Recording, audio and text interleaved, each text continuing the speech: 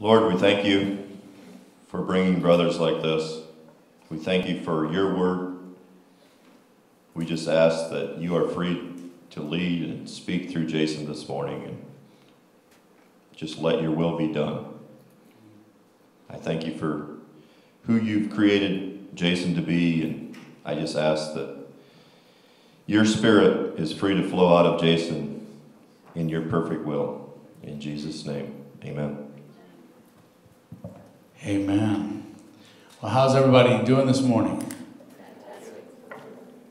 Awful quiet. Don't make me nervous. You're quiet. Well, I'm glad to be here. I'm privileged to be here as well. It's kind of a hot mic, a little bit of a hot mic. If just touch me down just a little bit. Uh, glad to be here. Excited to be here. Uh, where is the worship leader? They they they have set out. When he comes back in, can you bring him back to me, please? I got something for him. I got a, or actually, the Lord has something for him. Let me say it differently. I am uh, Jason. If you don't know me, J- Jason O'Neil. I am from uh, normally from originally from Gary. I live here in uh, Goshen on the south side. We run a ministry called Link Ministries. It's life and covenant, traveling the nation and the world, trying to teach people how to walk life in covenant. Amen. We're supposed to be in covenant in the body of Christ. We're supposed to be in this together and not doing it separate. We're supposed to be walking together. And so uh, we are an urban missions organization, which means that we go into some of the hard hit areas uh, where the church is kind of afraid to go. Amen. you wouldn't think that the church would be afraid to go anywhere, but there are some places that the church is afraid to go. So we spend a majority of our time on the south side of Chicago. And if you watch the news at all, which I don't watch hardly any news, but if you hear anything in the papers or on Facebook, there are a considerable amount of homicides on the south side of Chicago. Uh, throughout the summer, uh, they'll, they'll get up to 60, 80 homicides just in a weekend. Amen. And so we uh, feel like we are compelled to go into the American cities. We were in Kenosha, Wisconsin, right after uh, the enemy marched through Kenosha, Wisconsin, and tried to burn it to the ground. We were there three days later, boots on the ground, and, and uh, winning the lost. Uh, meeting the leaders of some of these organizations that if I said their names, you would know them. And uh, we got to meet the leader of BLM. We got to come into contact with some Antifa guys, and uh, hey, man, they're just unclaimed sons of God. Amen? Amen. Let me say that one more time. they are actually just unclaimed sons of God, man. They don't know their identity, they do not know who they are. And because of that, they are frustrated and running the streets and breaking things and doing things and God is calling us to go out in the highways and the byways and compel them to come to Christ. Amen? And when they turn, they are one of the most powerful people because they've got no care. They've already been doing crazy things. So when God calls them to crazy, amen, they won't worry about it. They, they'll just go out and do it. They'll do whatever the Lord tells them to do. Amen? So pray for them don't curse them, pray for them, and pray for those of us that are going out in the streets and going after them. Amen? So we do that. We go after them. We have a, a team, a small team of uh, uh, just on fire uh, men and women who, who will go out and do what God calls us to do. We just try to do the following of the leading of the Lord. And so pray for us in ministry. And if God compels you to sow into that, if God compels you to sow into that, then do, then do so. Man, thank you so much. What is your name? Uh, Jared. Jared. Thank you, Jared. Um, uh, I, many of you guys know this, but uh, the, the worship and the ministry work hand in hand together. And uh, you pray and you believe and you hear from the Spirit of the Lord. And so you put a song list together and, and you're asking the Lord, God, what are you wanting to lead us in worship today? And I'm over here praying and fumbling around and trying to find the, the, the, the what the Lord's trying to say. Yeah. And, uh, but you ministered to me today because man, you are right on course. I thought he was going to preach my message, to be honest. I know, I know pastors, preachers say that all the time, but I'm serious right now, man. Like you started testifying, and I'm like, well, there, here's my Bible. so I just, uh, because you have blessed me, I want to bless you. Put your hands out. Uh, Jordan, come on up here for a second. This is my son, Jordan. God, I just, I just want to bless right now. Stretch your hands out this way. I just want to bless this man of God. And I want to bless his mouth, his throat. I want to bless his inner man. I want to bless his spirit man. God, strengthen him, raise him up. God, he knows who he is in you. He knows who he is in you.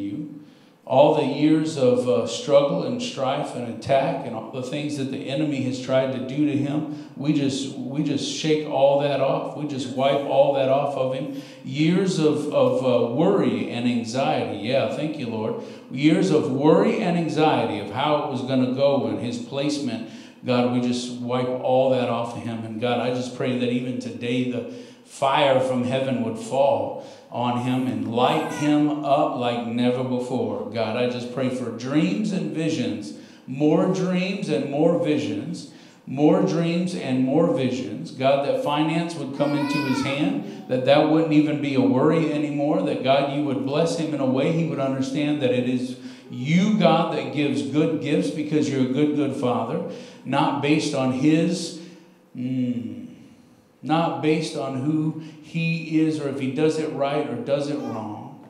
God, but because based on who you are giving good gifts to him. God, pour finance into his life. Let that stop being, stop being a worry. and then, God, I pray that you open up the international door to him. I pray, God, that you would send him. Send him like you've sent so many of us, God. Show him, whether it be in a dream or show him in a vision or show him, God, through an uh, encounter that he meets somebody. Send him, Lord send him. We are the sent ones because the gift that you have inside of him, God, is, is needed in a lot of different areas. The peace that he brings through worship is needed. So, Father, we just pray as he sang new wine, we pray for new songs, new sound. Let new sound come out of him. All right. In Jesus' name, everybody said? Amen. Amen. Bless you, man. Bless you, man. Give the Lord a hand, somebody. There you go. All right. Ah, all right. I have spent the last couple days in the beautiful city of Chicago with my wife and my oldest daughter. My oldest daughter turned 18 on Thursday. Ouch. every dad in the room, every dad in the room felt that just a little bit. It's like, ouch.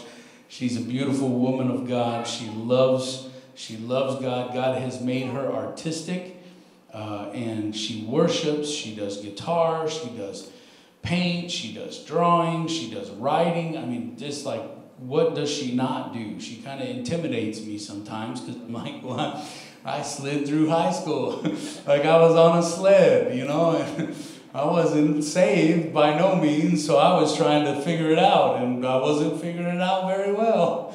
And uh, so she is brilliant, and I wanted the opportunity, my wife and I wanted the opportunity to bless her, uh, bless her socks off. So we had a good time the last couple days. We were there till late last night, came in this morning, but I just, I know God's got something for this house. God's got something for this house today. Okay? I'm not going to take up all your time, it's okay.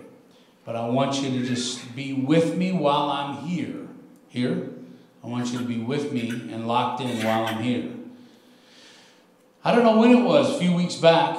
Um, they say, what, six weeks ago I was here and I ministered uh, before, six, eight weeks ago, something like that. Usually I don't get a call back very quick. Usually the callback will come the next year or something like that uh, the pastor in the ministry will say, hey, man, we want you back. We want you to come back. and so uh, I was surprised, kind of surprised, to get a call from Pastor Robert and say, hey, the leadership, we've talked about it, and man, we just want you back. And so I was excited. I said, yeah, absolutely, because I have a heart for this region, and I see God doing some powerful things in the spirit in this region, and there's a there's an awakening that's happening. There's a revival that's happening in this region. Uh, Michiana is on fire in the glory, whether you know that or not. Michiana is having an outpouring right now, unlike any other. And no, you are not seeing stadiums being filled. You are not seeing massive church nights where there's thousands being uh, uh, brought together like in Revive. But I'm telling you, God is doing something in Michiana on a grassroots level. Everywhere we go, everybody we talk to, God's doing something. There's miracle signs and wonders happening right now in Michiana. So if you don't know anything about it, you got to start searching because things are happening here. It's the season, it's the time. I tell people all the time shut the television off and go get with believers and hear from the Lord what He is doing rather what the world is doing. Amen? It's important. So I got a call from Pastor Robert and said, Come on. And uh, the date, this date worked out on our schedule. Uh, December is absolutely gone. Our December is booked. I've got no more time to do really anything. Uh, everybody's saying, don't say yes to nothing else unless the Lord says. So uh, we are booked in December, but we this date was open. I felt like the Lord said yes. Several weeks ago, we, we, we scheduled it, and then I get a call yesterday from Pastor Robert, and he told me about what happened to his eye. I was like, oh, okay, all right then let's do this thing. because we as a ministry, and I don't say this arrogantly, we as a ministry have been taught by the Lord how to get into the fight, get into attack. When we go to a city, I don't ask a lot about the city. I don't even get on Google and try to find out uh, what the city looks like or what's going on in the city. When we went to uh, Jamaica and we went to Montego Bay, everybody kept saying, "Man, Montego Bay is so beautiful. You ought to you ought to look at it." And I was like, "No, I don't want to look at anything to do with uh, uh anywhere we go because I don't want." Me to get in the way of what God wants to do. I want to go with a clean slate. Amen? I want to hear from him. I want to go where he wants us to go. I don't want to go where the tourists want to go. I want to go where he wants us to go. And it's a good thing that I did not get online and look up Montego Bay because uh, online is all the resorts and all the cruises and everything else. Man, that is not where we went. we went up in the mountains where there's no running water, and it was just like, wow. But we had a, an amazing time. And so i don't look at things up. And when i go to a church i don't i don't ask people what's happening what's going on. I don't ask people what's going on in the church because i want to hear from the lord and i know the lord will speak fluidly and clearly to me about what he wants to say and it's more important about what he wants to say than it is about what i want to say because he can do more in two seconds than i could ever do in like two hours or two days right so if you'll stick with me, I'm going to give you exactly what I feel like the Lord wants to give you. Because when I was on the phone, I was down uh, on mission. I was driving around. My daughter and wife was actually taking pictures, and and and they was all taking pictures. I was driving around like an Uber driver all through the city, waiting to pick them back up. And and uh, uh, I got on the phone with Pastor Robert. And he had told me what happened to his his eye and how uh, uh, he had had the detachment, then had the, the surgery, and how he was going to be face down in 30 days. And instantly, in my spirit, just like in your spirit when you heard it, I said, No. no, no, no. Not, not even a chance. Even right now. In the name of Jesus, right now, we say no. Come on, church. No 30 days of recovery. No out 30 days. No need to be out. Jesus is a healer. By his stripes, we are healed. So, Father, we just pray for Pastor Robert right now in the name of Jesus, and we command these eyes to line up with your word that says that by Jesus' stripes he is healed.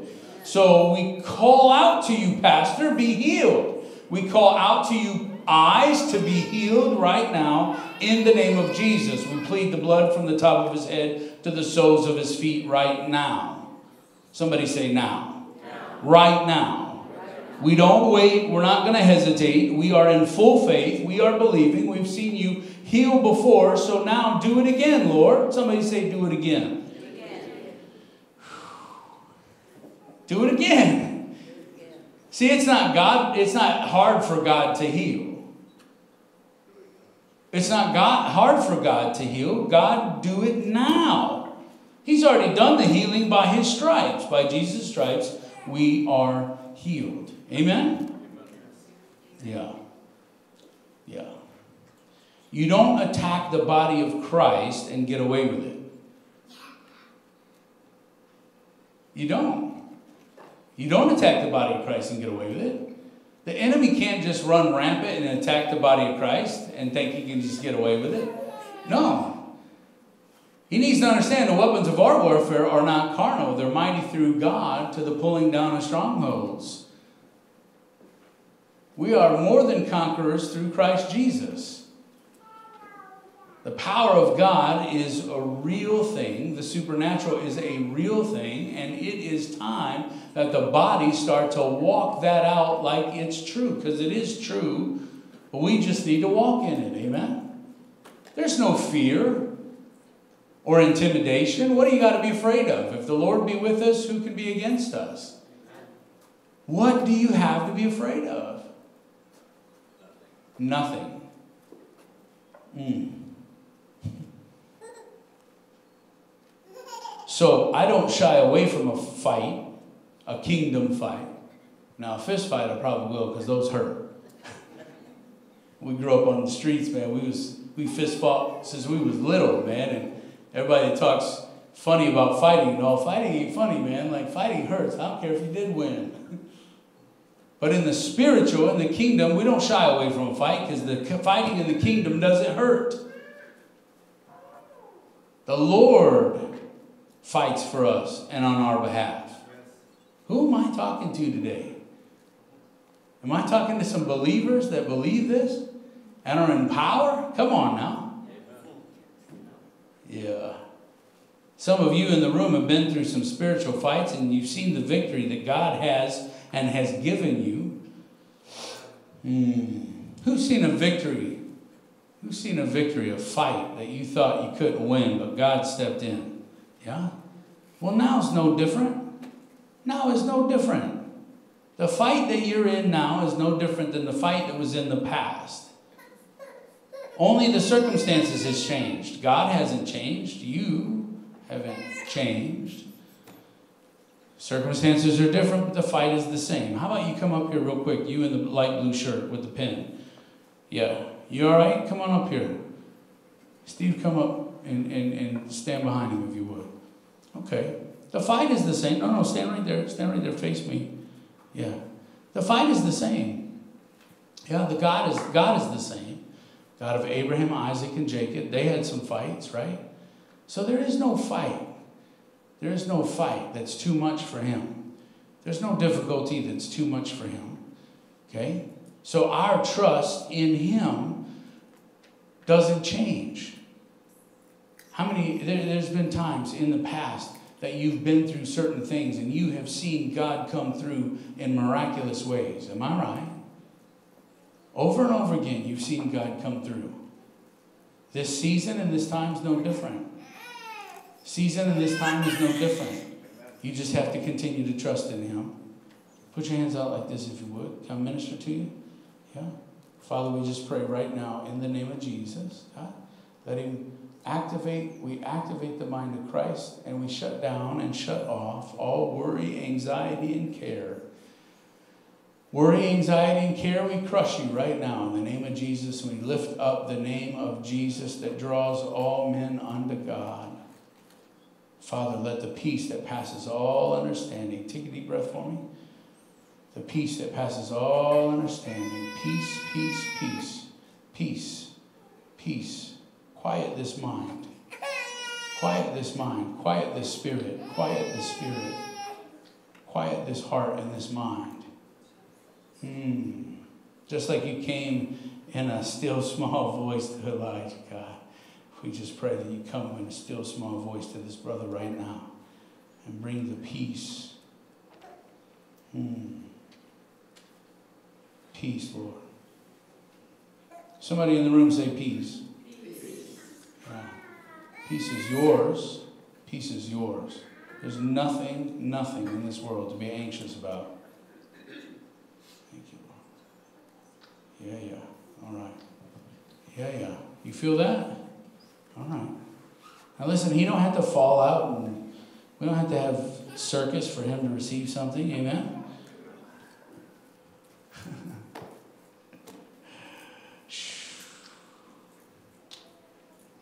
In your Bibles, turn with me to Exodus, Exodus chapter 12. Exodus chapter 12. We are in a season and an hour that God is doing some miraculous things on the earth. He's been doing them for a long time, but there is a heightened awareness of what God is doing on the earth. There are miracle signs and wonders happening on a consistent basis. Exodus chapter 12. We are coming out as a ministry, coming out of two tent revivals at the exact same time midsummer, I started feeling the, the need to go after a tent. And so I, I started calling around, and I've got some friends in Houston and some friends in Dallas, and they turned me on to a tent maker in Oklahoma. And uh, I called the tent maker in Oklahoma, and I started going through the process of ordering a tent and, and going to have them make us a new tent, a 40 by 80 tent. And so I'm on the phone with this guy, and we get right down to the place where uh, we are going to, he's going to email me, I'm going to sign the paper, scan it back, and we're done. I've bought a tent, a brand new tent. And he gets down to the point where he's going to email that, and he says, All right, well, we'll ship your tent in April of 2022. And I was like, Whoa, wait a minute. I'm sorry, no, no, no, no you must have misunderstood me. Like, I can't wait till April to get a tent, man. Like, I need a tent now. He said, Oh, there's no way. He said, Jay, there's no way, man. He started laughing. He's like, What are you thinking? He said, Every tent manufacturer in the United States of America is backlogged until April or May of next year. Do you hear me?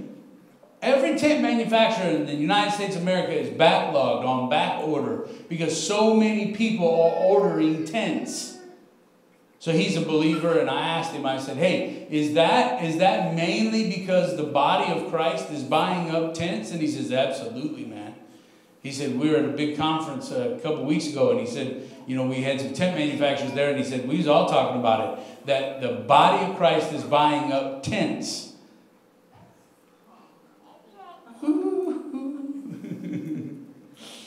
get ready. I'm telling you, get ready. So I was like, well, I'm sorry, but uh, we can't we can't wait till April. I'm gonna have to look around. So that Friday night, I put it out uh, on Facebook, and within minutes, my Facebook Messenger went crazy through a series of events that only God can do.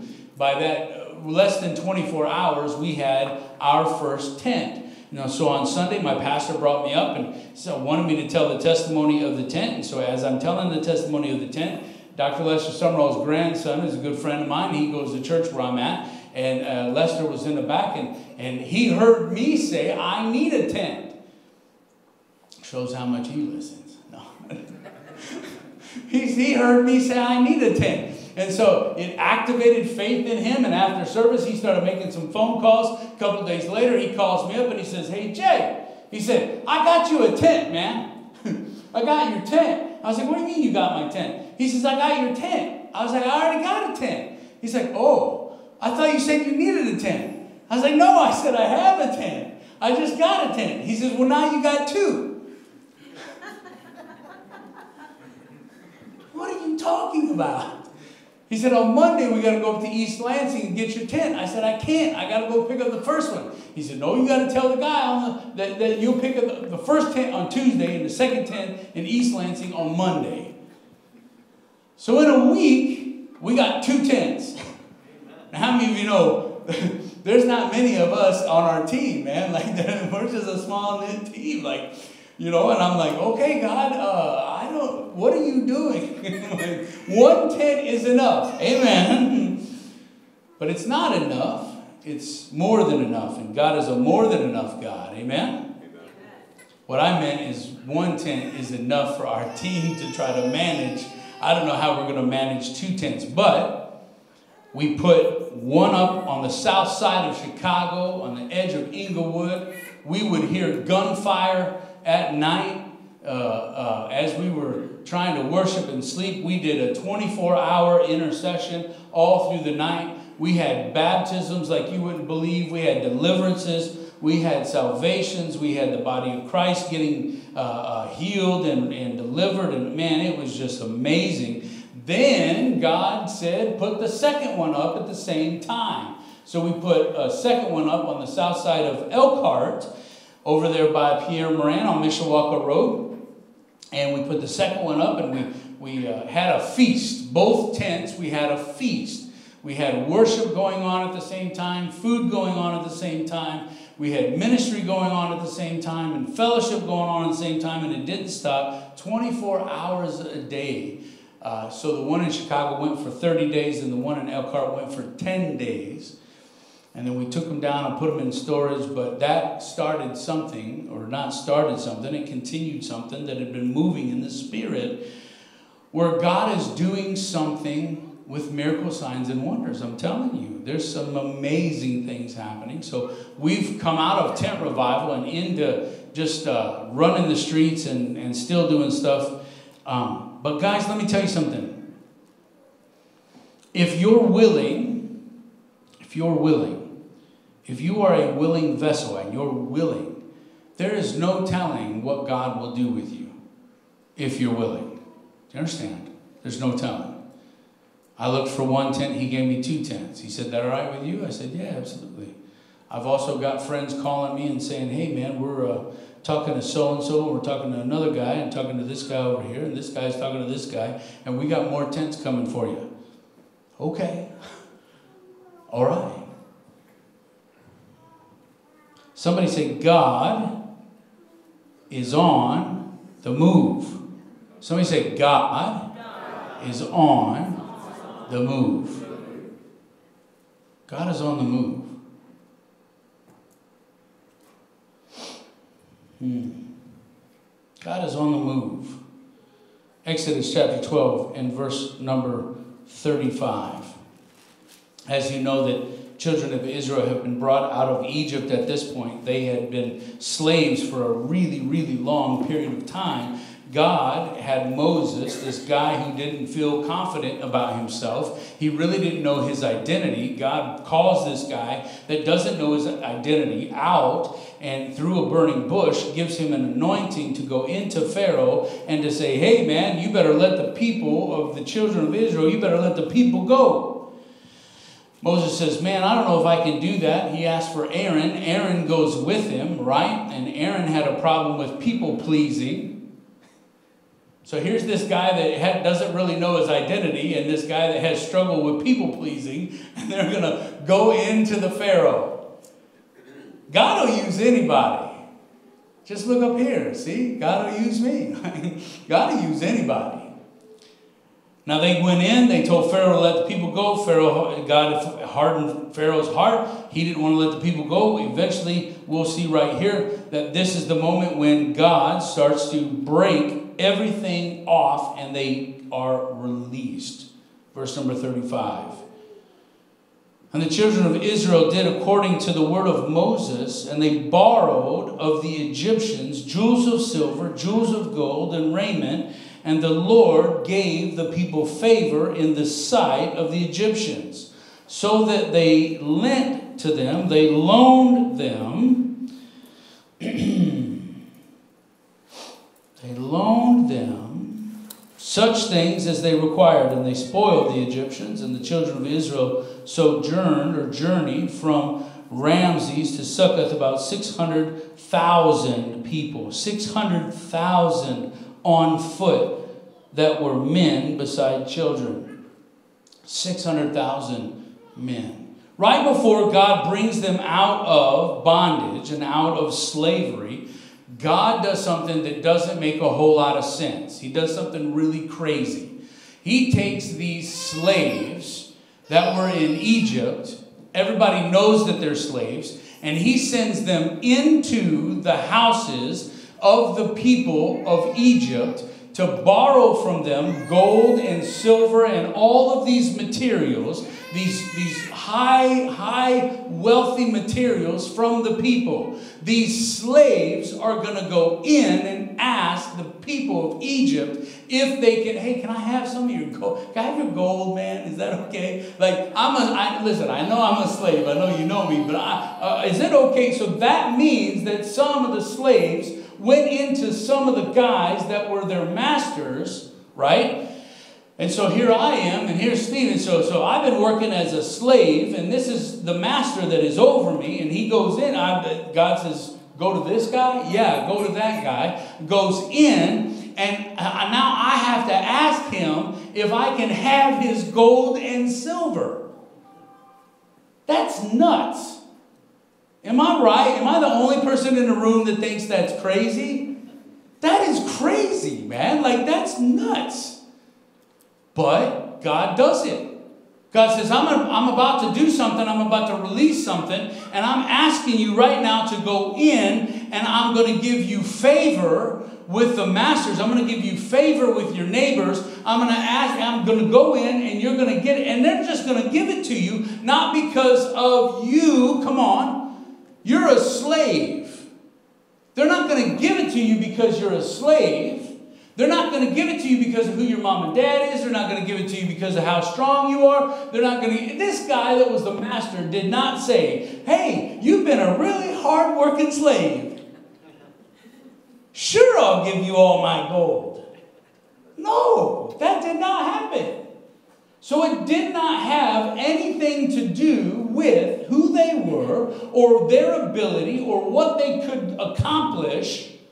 It had everything to do with what God was doing through them and the favor that He was giving them with the masters. Are you following me? All they had to do was be obedient, and all they had to do was be willing. Obedient and willing. Look at your neighbor and say, Be willing and obedient.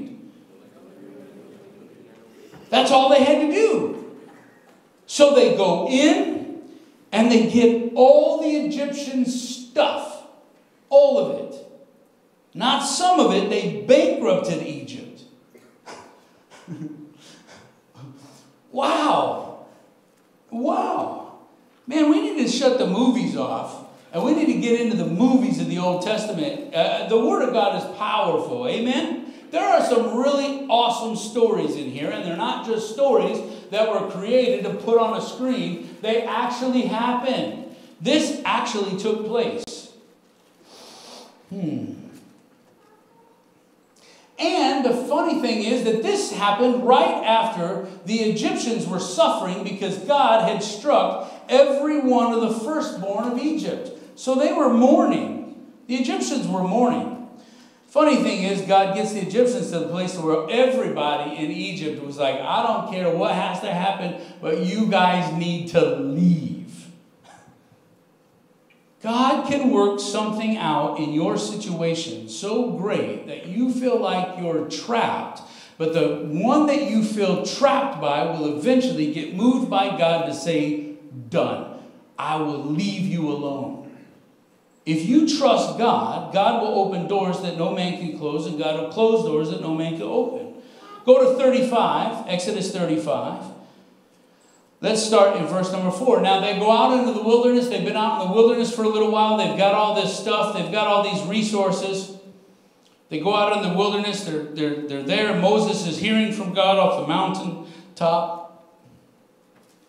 Exodus 35 and 4. And Moses spoke to all the congregation of the children of Israel, saying, This is the thing which the Lord commanded. This is the thing that God commanded. Saying, Take from among you an offering to the Lord. Whoever is of a willing heart, let him bring it as an offering to the Lord. gold, silver, bronze, blue, purple, and scarlet thread, fine linen and goat's hair, ram skin dyed red, badger skin and acacia wood, oil for the light, and spices for the anointing oil, and for the sweet incense, onyx stones and stones to be set in an ephod and in a breastplate. Go down to verse number 20. And all the congregation of the children of Israel left the presence of Moses.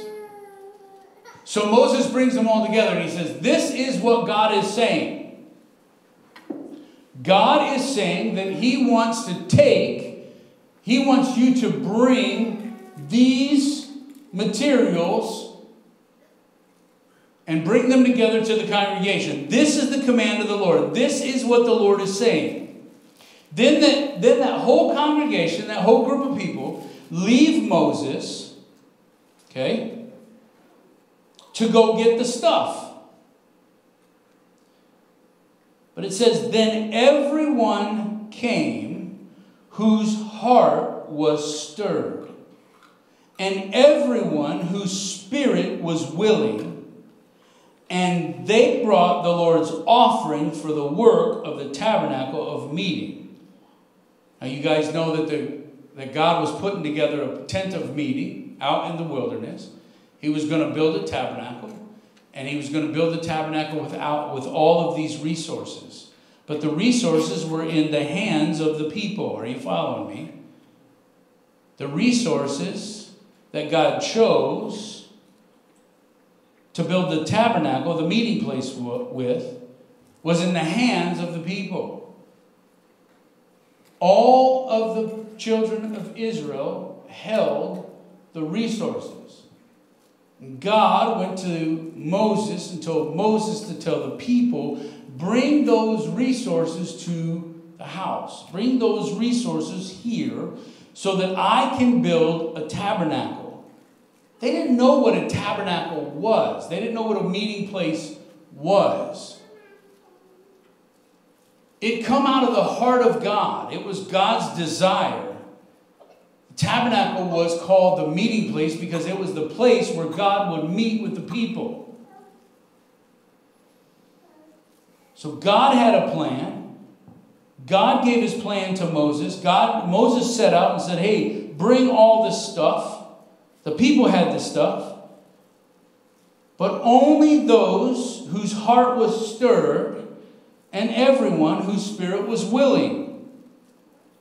And they brought the Lord's offering for the work of the tabernacle meeting, for all its service and for all its holy garments. They came, both men and women, as many had a willing heart and brought earrings and nose rings and rings and necklaces and jewelry of gold. That is every man who made an offering of gold to the Lord. And every man with whom was found blue, purple, scarlet thread, fine linen, goat's hair, red skin of rams, badger skins, he brought them. Everyone, somebody say everyone, everyone who offered an offering of silver or bronze brought the Lord's offering. And everyone, somebody say everyone, with whom was found acacia wood for any work of the service, brought it.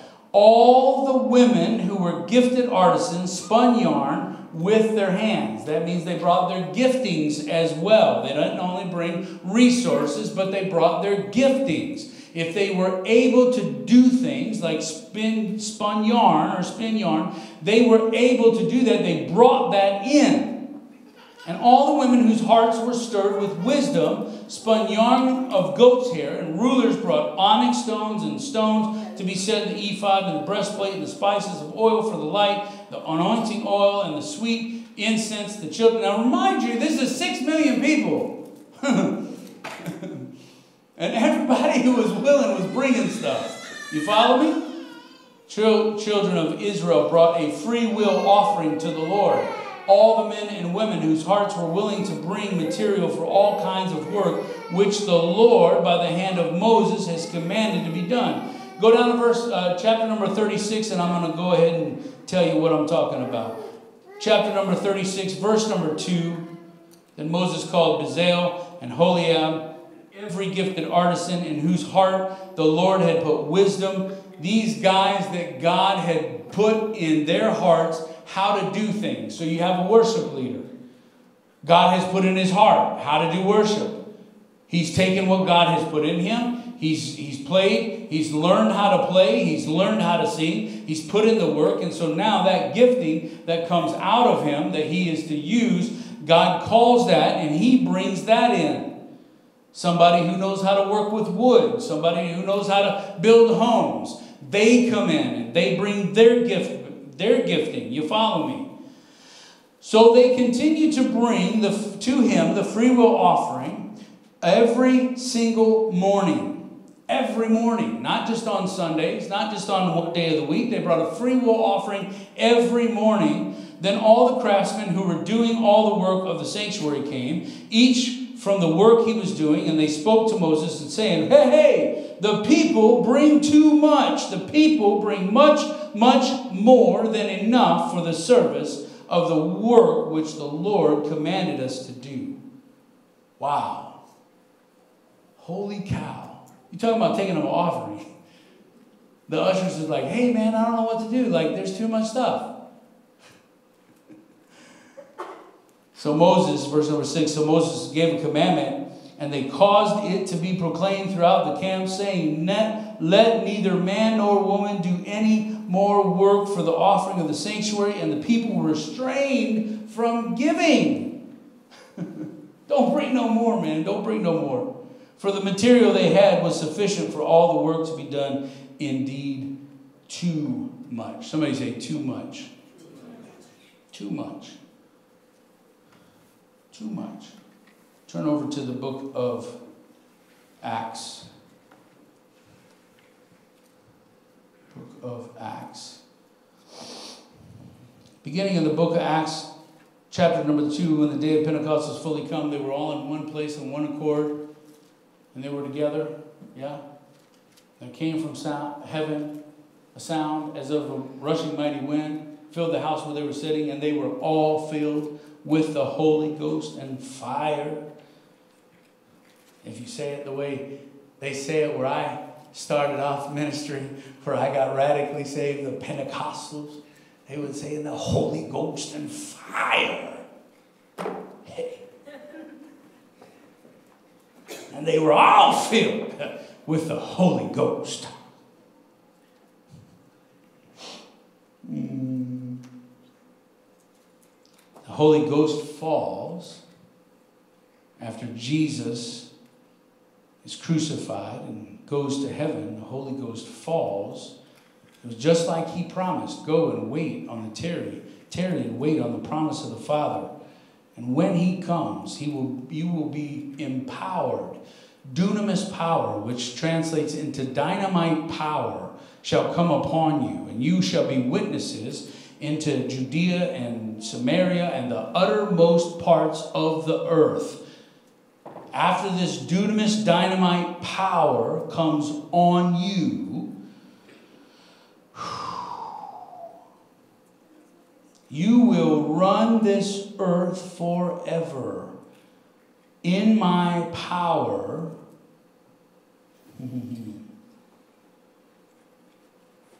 and miracles, signs, and wonders shall follow you in my power. Verse number 43. Actually, let's go up to verse number 42. Acts chapter 2 and verse number 42. And they continued steadfastly in the apostles' doctrine and fellowship, in the breaking of bread and in prayers. Then fear came upon every soul, and many wonders, signs, and signs were done through the apostles.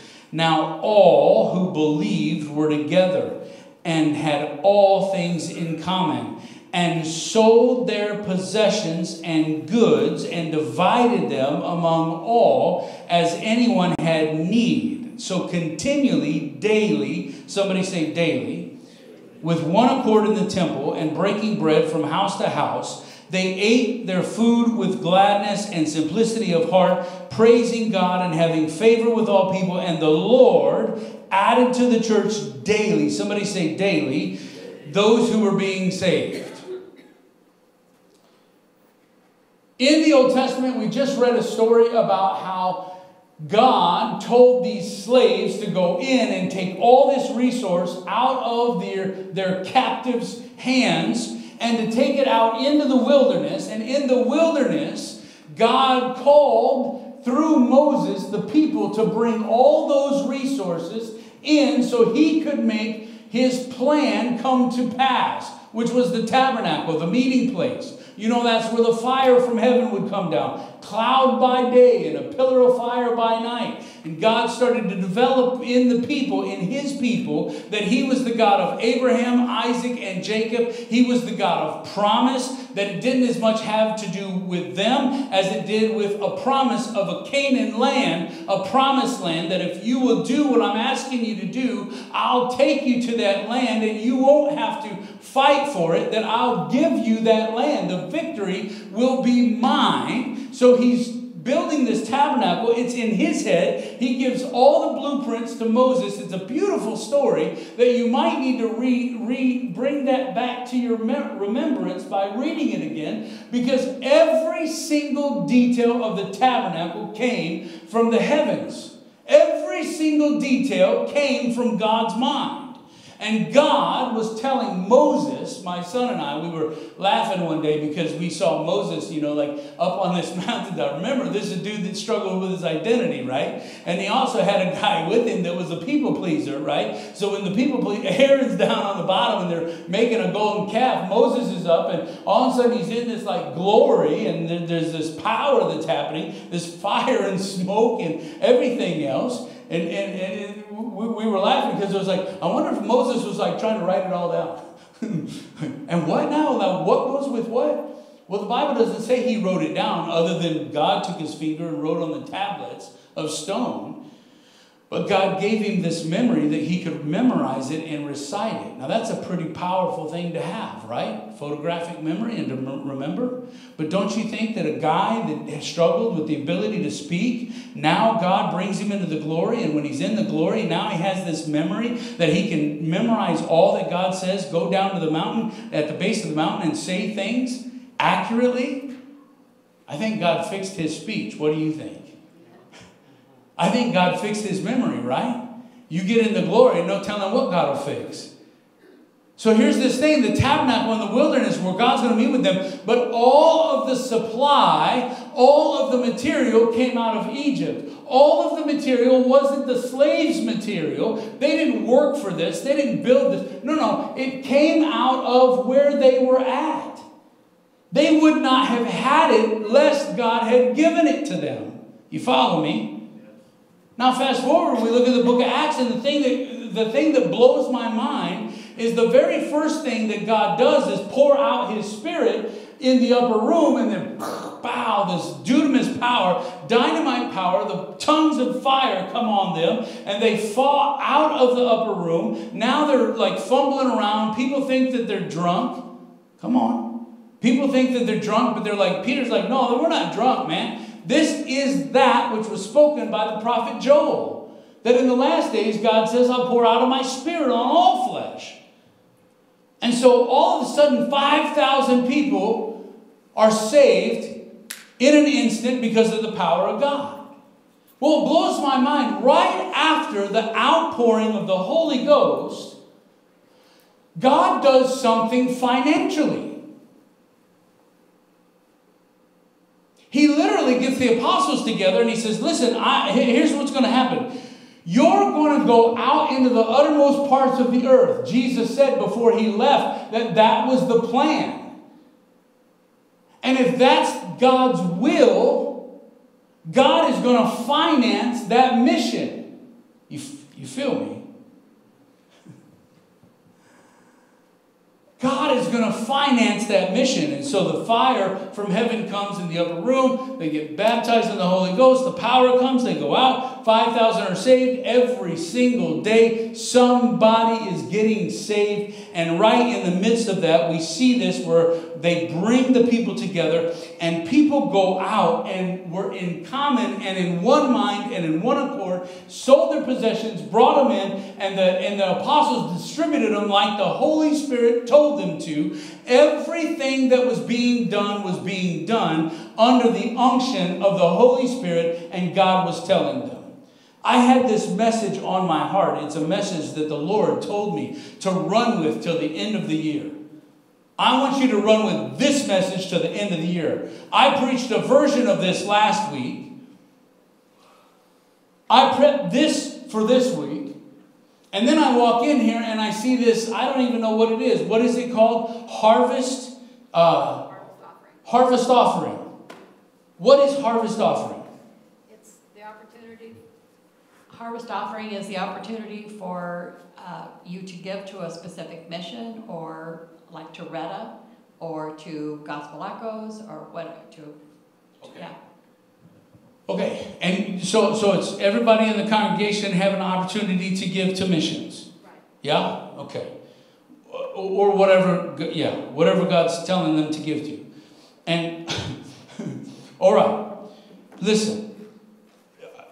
I can't go any further. Philippians chapter 4. Let's go real quick to Philippians chapter 4. I got it. The Lord just like bumped me and said, go there. Because if you go there, they're not going to really get it. They're not, not that you're not going to get it. Somebody's getting it already. But if you don't, you're going to think that I went somewhere that I didn't go. A lot of times people think that preachers go places that they don't actually go. Hmm. Philippians chapter 4 and verse number 6 Be anxious for nothing, but in everything by prayer and supplication with thanksgiving, let your request be made known to God. So when you have a need, when you have a need, you don't flip out about your need. You don't get anxious about your need, no matter if it's in business or in personal life. You don't get you don't go crazy about your need. You don't get stressed out. Matthew chapter 6 it says, "Who what man by worrying can add 1 cubit to his stature?" Right? So you don't flip out, you don't get worried. You don't get anxious. He says, "Don't get anxious, but by prayer and supplication with thanksgiving let your requests be made known to God." That means that you go to God. You don't have to go to somebody else, you go to God. Let your request be made known to God, the peace of God which passes all understanding, which means, hey, you may not understand what God tells you to do, but that peace that comes on you will guard your hearts and minds through Christ Jesus. Finally, brethren, whatever things are true, whatever things are noble, whatever things are just, whatever things are pure, whatever things are lovely, whatever things of good report, if there is any virtue and if there is anything praiseworthy, meditate on these things.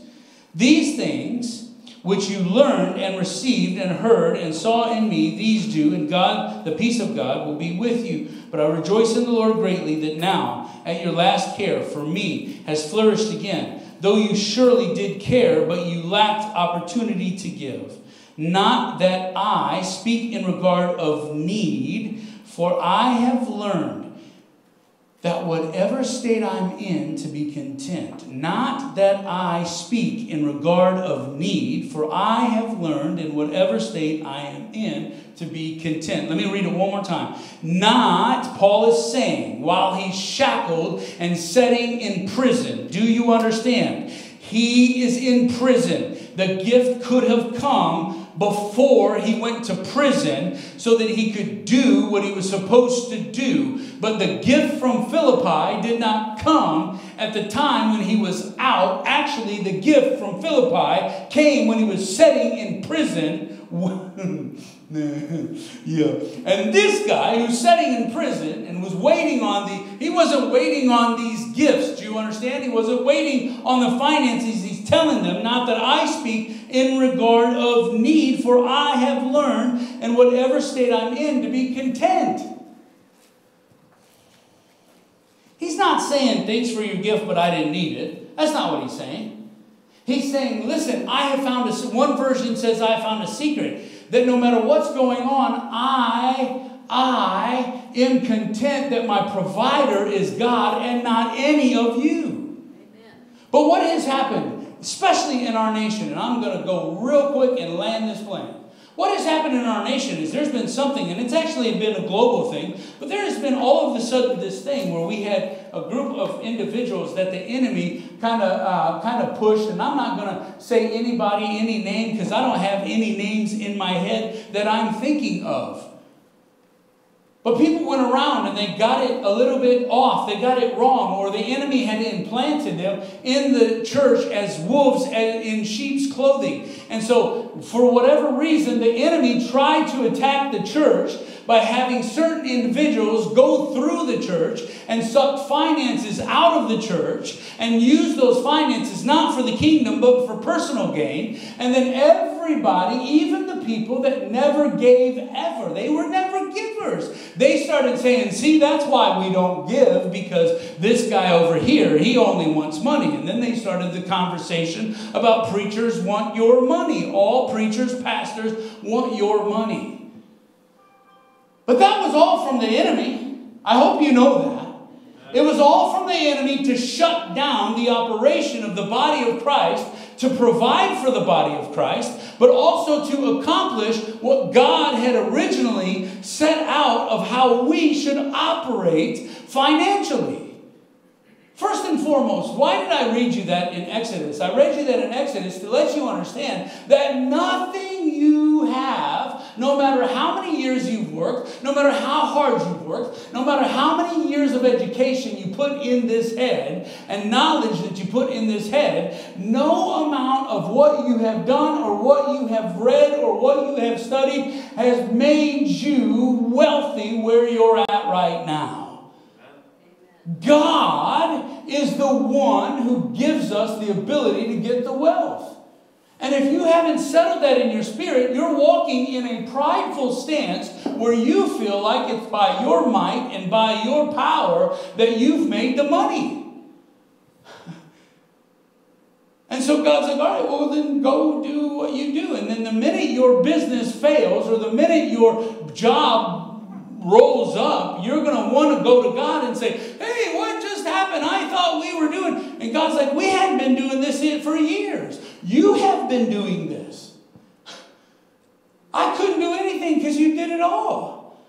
But now you're going to run to me, and it's okay that we run to him because he's a loving father that's going to mop it all up. He's going to clean it all up. He's going to lick our wounds for us. He's also going to pay for everything. He's going to provide for us because he's a father that he loves us, no matter if we mess up. But if you're walking around thinking that these hands made it happen, I'm telling you, you're walking around in pride.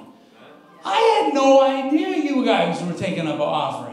Whether you believe that or not is not up to me. Take it up with the Lord because I didn't know that. I hadn't had a conversation with anybody.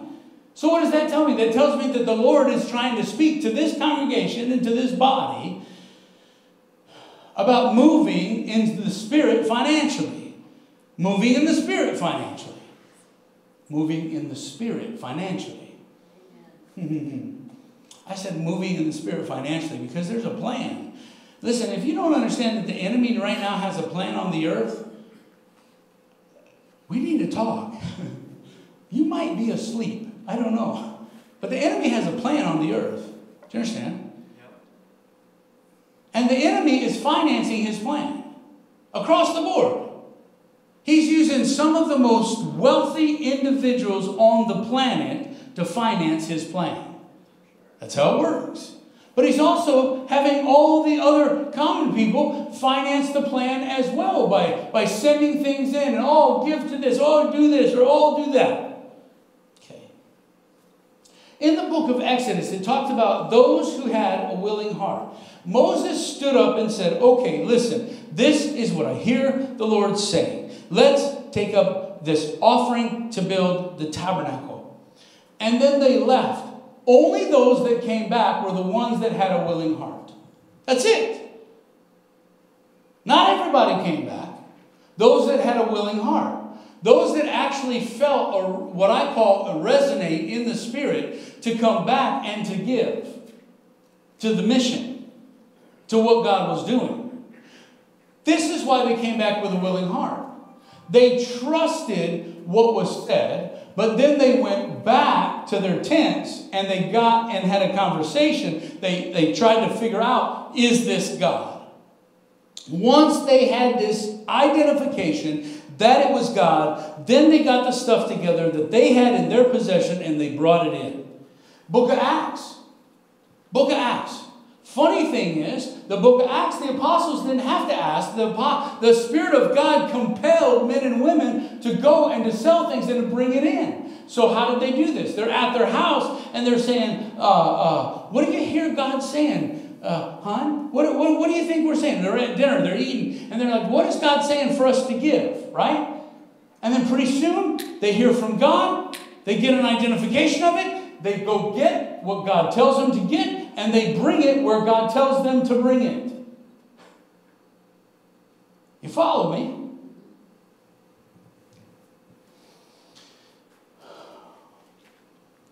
I'm almost done.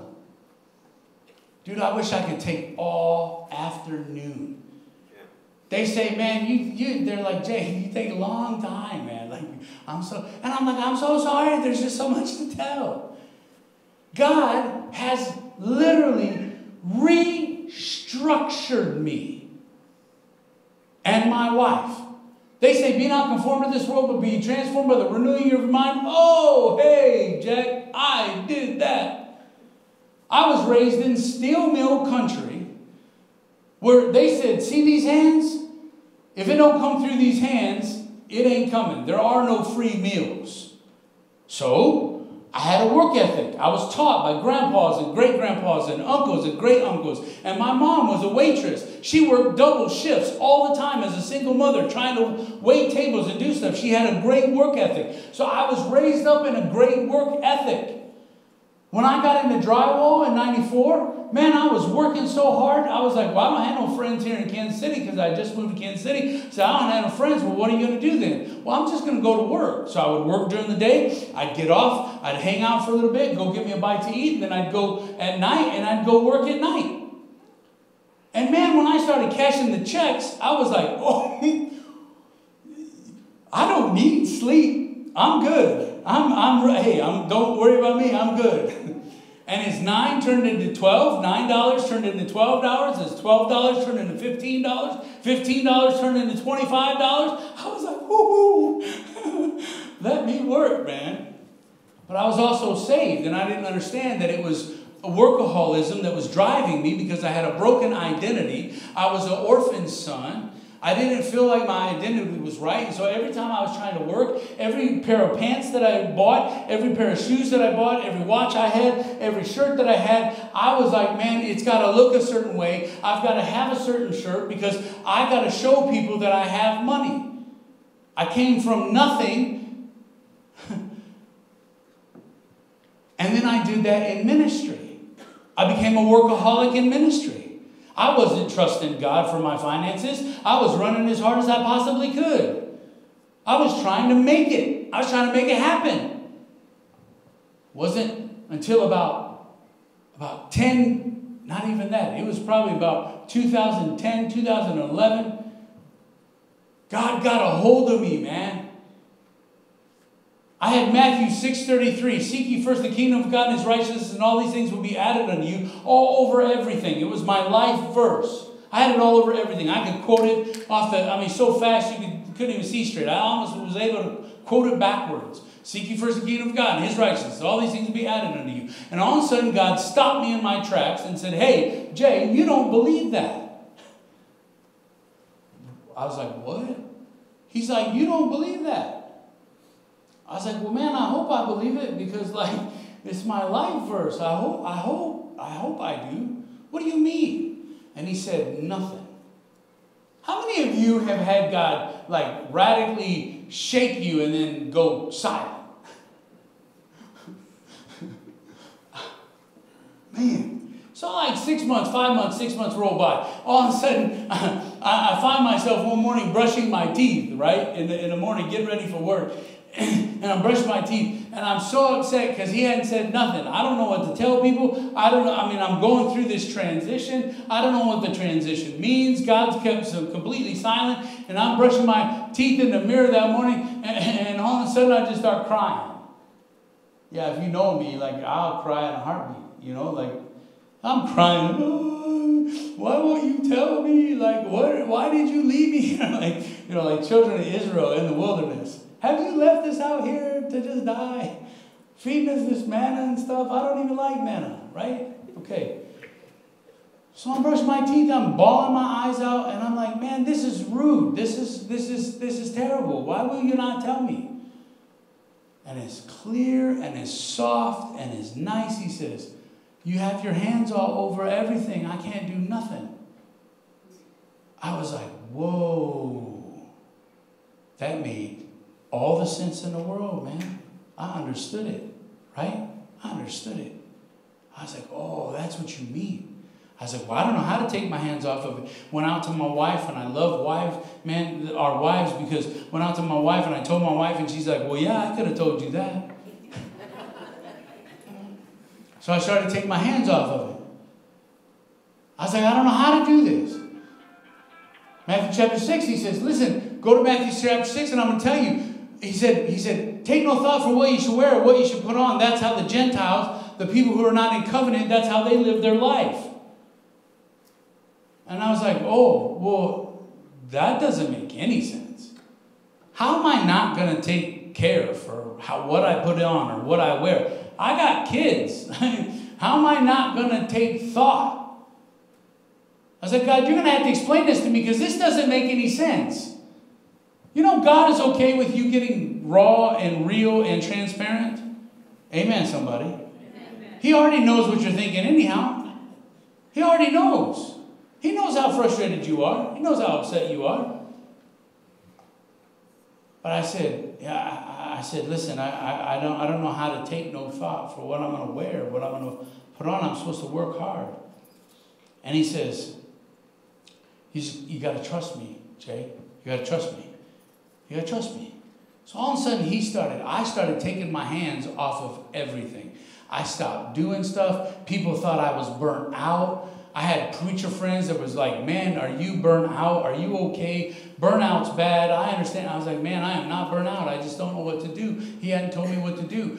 And all of a sudden, he took me, uh, part of it, he took me to where Mary was at the wedding feast. And Mary told the disciples, whatever he tells you to do, do it. How many of you are familiar with that? Jesus is right there saying, hey, stop. Like, mom, I'm not supposed to be doing nothing right now. She's like, and, and the funny thing is, he learned, all right, you ready for this? Moms, get ready. Watch this. He learned how to minister because he's just like his mom. When you fast forward and you see Jesus, right? Jesus is having conversation with people, and it sounds sometimes like he don't even hear what the person said. Because the person says something and he don't even talk about it, right? Like the guy at the pool of Bethesda, he says, Do you want to be made whole? And the guy says, Well, you know, I don't have guy to put me in. I don't have this. And every time I try to get in, you know, somebody else will. He don't even talk about that. He's like, Well, then pick up your bed. he don't go into what the guy said. So there's Mary and Jesus at the at the wedding feast, right? Mary's like, hey, listen, we gotta we gotta do something about this this situation that's going on right here. He's like, Mom, shh, it, ain't time. And she says, Hey, Whatever he tells you to do, just do it. and she didn't even listen to him. like, so, it, yeah, anyways, that's where he learned it at. So, look, whatever he tells you to do, do it. So I was like, all right, well, then I'll just do that. I thought I was doing that. I thought I was doing that, but come to find out, I was doing a lot of good things that sounded good, but they weren't God things. And I said, okay, God, well, I just want to do what you're asking me to do. And man, I was, I, I, I, I planted a church. I'd done all these things. I was fumbling around. Man, if you knew me at that time, you probably thought, golly, this guy has no idea what he's doing. And that was right. I didn't know. I was, I was being transformed. Do you understand? Into doing what he asked me to do. I'm going to end this with this, but I'm also going to transition into something else. If you have to leave, I'm going to let you loose. But here's the thing watch this. If you have to leave, what am I saying?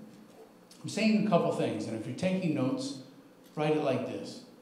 Number one, everything you have that God has given you is God's. It's all His. We are stewards of His stuff. Everything you have God's given you is God's. You didn't have the ability to get it before He gave you the ability to get it. Number two, every ability that you have is God's. Even if you learned it, even if you studied it, He gave you the ability to learn it and to study it.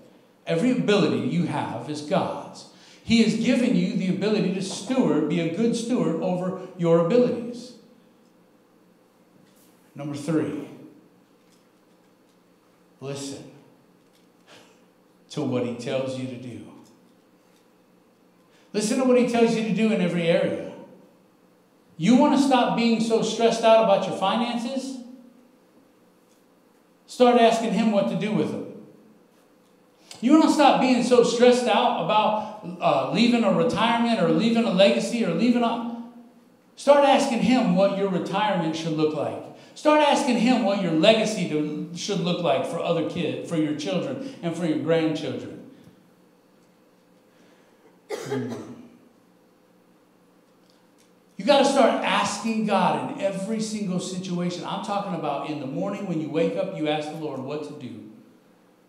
Talking in the afternoon, we can't figure it out. You got to ask the Lord what to do.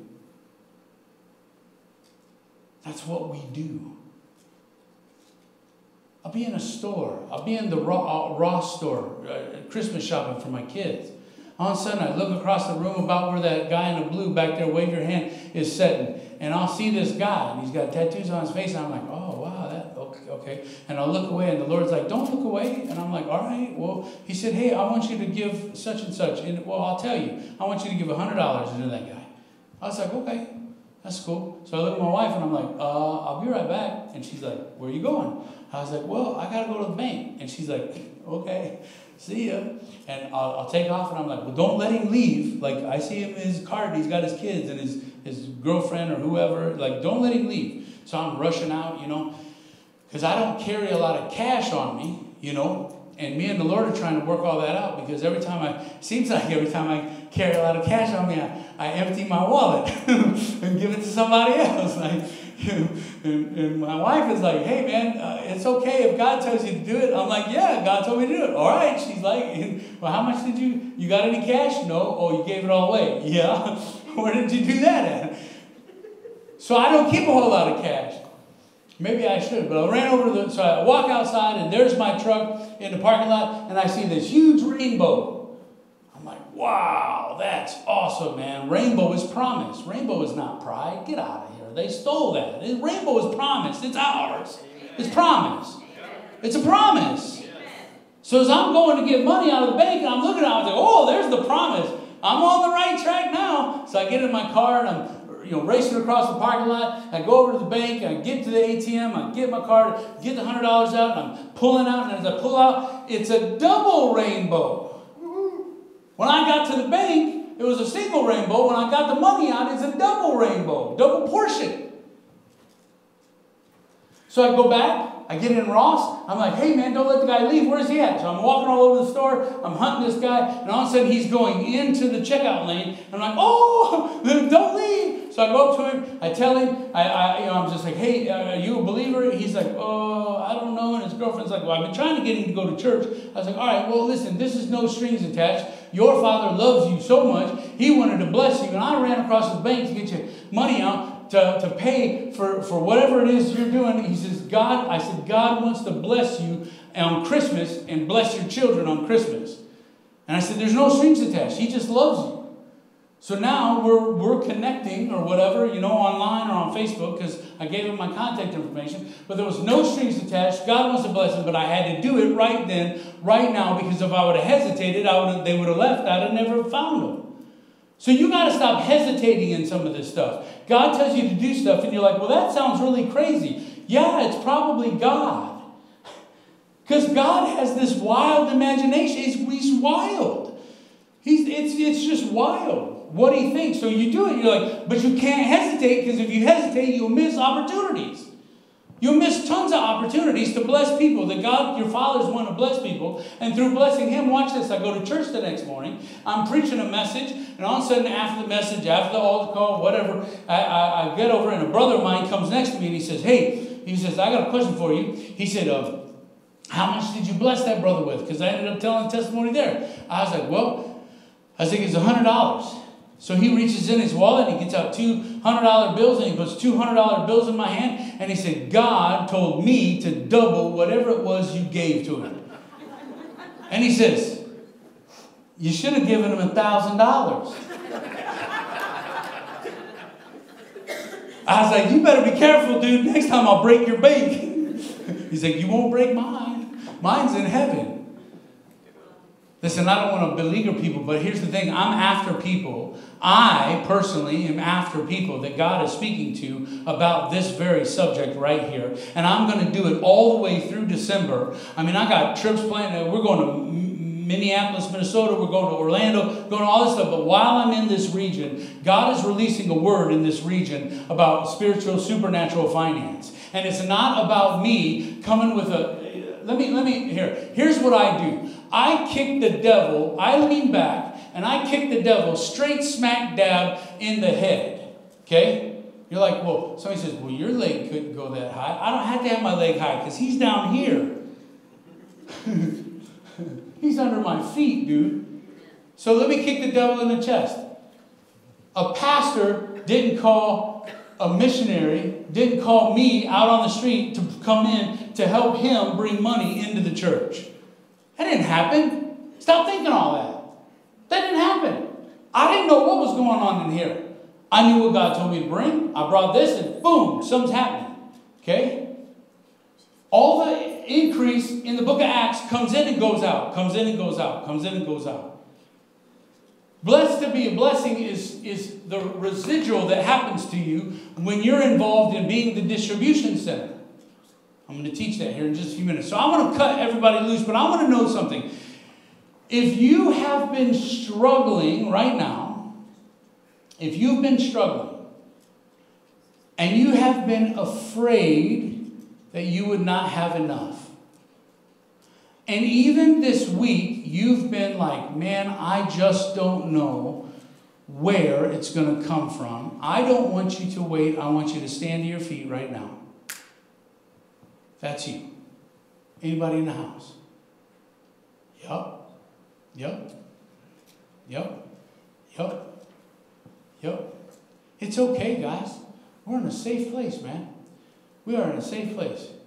And let me tell you something the enemy tries to attack us all the time with stuff. I don't think you ever really fully are perfected in it until you get to heaven. We're trying to, we're believing, we're strong, but we do have times where we're like, whoa, whoa, whoa. So here's what I'm going to do. You guys on this section right here, if you would, turn around and lean your hands, stretch your hands towards them. You guys stretch your hands towards them right there. Okay? If you can't, stretch your hands this way. Steve, maybe jump back there. And, and, and Bubba, if you will do this, hey, buddy, right here, if you will go lay hands on him. Yeah? I'm not going to pray a crazy prayer. I'm not going to go nuts. I'm just going to say something very simple. My God shall supply all of your needs according to his riches in glory. The truth of the matter is, my God shall supply all your needs according to his, by his riches and glory. Okay? All your needs. All your needs supplied. So, Father, thank you for your word that says that you will supply our needs if we let our needs be known and we're thankful to you. So, Father, I pray right now, right now, right now. You are making, you have already been making a way where there seems to be no way, but you're making a way right now that every need supplied, every need supplied in their lives. You're showing them, you're giving them the peace that passes understanding. You're showing them exactly what it is that you're doing in their life that's bringing it to pass. God, every need supplied. Every need supplied. Now, those of you that are standing, Say, Father, thank you that you have shown me in the past how you want to meet my need. Father, thank you for meeting my current need. Father, forgive me for ever doubting you. Father, forgive me for allowing fear to creep in. And from here on out, I'll walk in faith. I trust you, God. I trust you. Mm. Father, from the top of their head to the soles of their feet, we come against doubt and fear and unbelief right now. And we just pray for faith to reign and rule in their life. Jesus' name. Jesus' name. Jesus' name. Jesus' name. Somebody give the Lord a hand real quick. Praise his name, not. Okay. All right, here's what I'm going to do. I'm going to shut down. I didn't even talk to Steve about this, but I just thought about this. Here's, here's, here's what happened. I, I know there's people in here that have questions. There's people in here that are kind of like, well, I heard that. Uh, I've, I've heard that before, but, but here, I, I want to I, I want to have a, a conversation with you, okay? And so from this corner to that corner, in these first couple rows, if, if you're here and you're like, man, I need as much of this as I can possibly get my hands on, I need some answers, I need to know some things. When we get done, when they get done shutting down, okay, I want you to fill up these front rows because I'm going to spend some time with you because I do have some crazy, crazy stories about how God is providing. Paul told the Philippian church, listen, I don't have need uh, uh, uh, of I, I my, my all my needs are supplied by God. And I'm going to tell you publicly right now, okay? We do have partners, we do have people to give, and man, it is it is amazing. Is it in the crazies? No, it's not in the crazies. We do exactly what God's called us to do, but I do not personally take up an offering because God told me not to. I do not ask for partners because God told me not to. I do not ask for anything across the board because God told me not to. God said, Ask me. So I'm like, All right, I'll ask you. He said, Let, let your needs be made to me. And so it, it becomes really, it, it, these some friends of mine are in here, and, and you may have seen it. Like, it becomes really uncomfortable when somebody says, Hey, what, is, is, how's this working? How are you paying for these tents? How you? I'm like, Well, God. Yeah, I know that. But, like, you know, uh, what, what, what is it that you, what is it that you need? What is it that you, it's kind of difficult, Steve. Because it's like, well, I'm not supposed to ask you for anything. I'm asking the Lord, and if the Lord prompts you to give, then you give. You follow me? But I'm not the only one he's doing that with. He, he, he's doing that with a lot of people. Because he wants us to get to a place where we trust. So I'm not, I'm not, I'm not taking an offering. I didn't preach this message to take up an offering, to, to stir your heart in giving so that you could give to me. I'm not. I'm telling you, there's something God is wanting to do with you that has very little to do with me. It has everything to do with His plan and His will. Problem is, we had so many going around that would preach a message like this with the intentions of stirring your hearts up so that you could give a big offering so that they could go back in the back and count it and then cut a check so that they could go on down the road. And ultimately, their trust was in that offering and not in God Himself. I'm not cutting them down. I'm just saying that's what, how it got off. But God's recalibrating it now. And just because some people got off, I said it before, just because some people got off, doesn't mean that it's all broken. God's still doing the same thing. I love you for those of you leaving. I love you, appreciate you. If you want to stay longer, you can. But I'm so thankful you trust me. Go hear from God and then bring, wherever He's telling you to bring, bring to God what He's requiring. And watch what God will do. Amen.